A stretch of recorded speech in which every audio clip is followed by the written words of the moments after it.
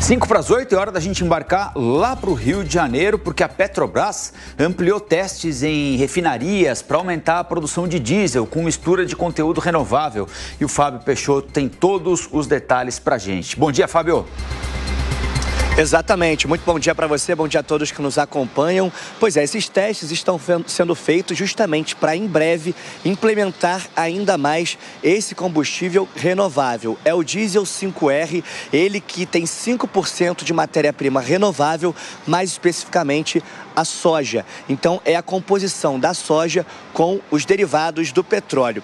Além dessa dinâmica que vai ser implementada nos, ca nos caminhões né, que usam o diesel, ele também tem como objetivo reduzir em 60% essas emissões através dessa matéria-prima renovável e pode até passar dos 60%. Então, é um combustível muito importante, onde as refinarias da Petrobras em vários estados, como Paraná e até mesmo aqui no Rio de Janeiro, na Reduc, já estão é, fazendo esses testes para aí sim ser implementado o 5R.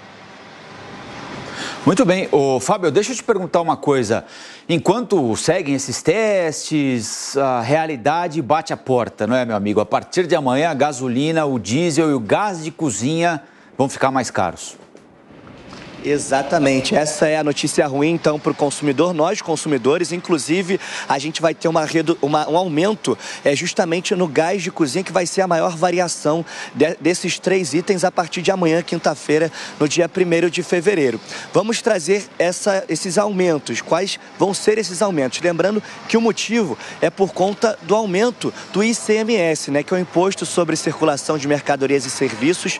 Então vamos lá, o gás de cozinha, o imposto sairá de 1,25 para 1,41 o quilo, ali um aumento então de 16 centavos por quilo. Lembrando que o botijão tem 13 quilos, então é só multiplicar por 13 a gente tem o aumento total é do gás de cozinha. Já o diesel ele aumenta então de 94 centavos para R$ 1,06 por litro, um aumento de 12 centavos e também a gasolina de 1,22 passa para 1,37 por litro, um aumento de 15 centavos. Parece pouco, mas no montante acaba fazendo uma diferença muito grande. E uma dica até que eu dou aqui que eu vou fazer é justamente é, encher o tanque nessa quarta-feira, já que amanhã começa a ficar mais caro nos postos de combustíveis, né, Rafael? Ah, é uma boa mesmo. E vale ressaltar que é possível que venham outros aumentos aí, né? Mais cedo a gente lembrou aqui no jornal que ainda há uma defasagem grande em relação ao que nós estamos pagando aqui e o que é cobrado lá fora. Ou seja, aqui está mais barato do que lá fora. Então, em algum momento, se essas curvas não se encontrarem,